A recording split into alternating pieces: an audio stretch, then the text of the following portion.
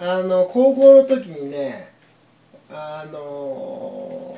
付き合ってた彼女はい。に将来の夢はって聞かれてそれ俺がスあのスノーボー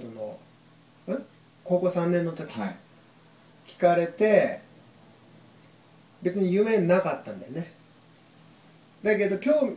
ちょっと興味があったのがスノーボードだったから、うんスノーボードのプロになることかなみたいな感じでかっこつけて言っちゃって、うんやったこともないのに、うん。そうそれがきっかけでまあじゃあそれからあのお金貯めてスノーボードちょっと買ってみようかなと思って始めたのはもう高校卒業してから、うん。まあ、近くのショッププロショップに行って、一式買って、でまあプロになりたいと。言ったら、まあ、そこの店長がやっぱ結構いい人で、うん。でいろいろまあ言ってアドバイスもしてくれたり。だけどその時なんてさやっぱさ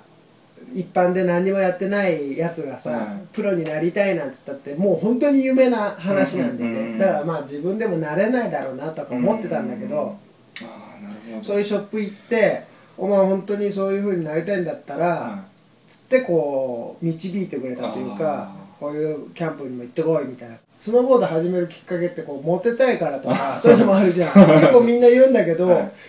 そういうのがねしなかったよね、あうん、やっぱ本当に純粋にねなんかねもう途中からだけどあ本当にプロになりたいっつって思ってて。ーそれは何か